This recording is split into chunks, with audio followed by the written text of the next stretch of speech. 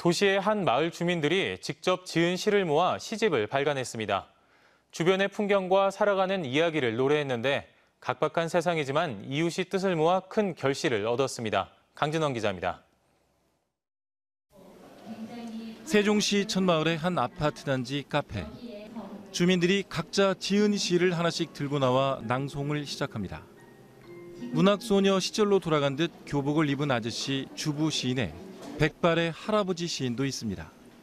같은 마을에서 동시대를 살아가는 사람들의 정서를 교류한다는 것이 어, 금강에서 물이 흐르듯 예, 이 마을 전체에서 더 널리 어, 서로 이렇게 화합하는데 어, 일조를 하는 분들이구나라는 생각이 들어서 이 아파트 단지 주민 21명이 52편의 창작시를 모아 마을의 두 번째 시집 천마을 금강에서 시를 짓다를 펴냈습니다. 천마을 주변 금강의 자연을 노래하고 또 우리 동네의 이런저런 풍경, 살아가는 이야기를 담았습니다.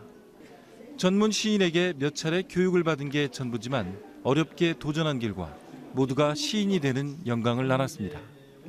특히 출신지가 각기 다른 세종시에서 주민들은 시를 통해 함께 사는 이웃을 새삼 느꼈습니다. 이게 다 객지잖아요. 정서적으로 또 새, 새로운 마을에 와서 어, 어떤 즐거움이 있는가, 어떤 또 고뇌가 있는가 이런 거에 대해서 이야기를 나눴습니다. 마을 단위로 시 창작 교실을 열고 시집까지 출판한 경우는 전국에서 유례가 드문 일입니다. 마을 공동체에서 탄생한 특별한 시집. 각박한 세상이지만 잠시 옆과 뒤를 돌아보게 하는 따뜻함이 전해집니다. TJB 강진호입니다.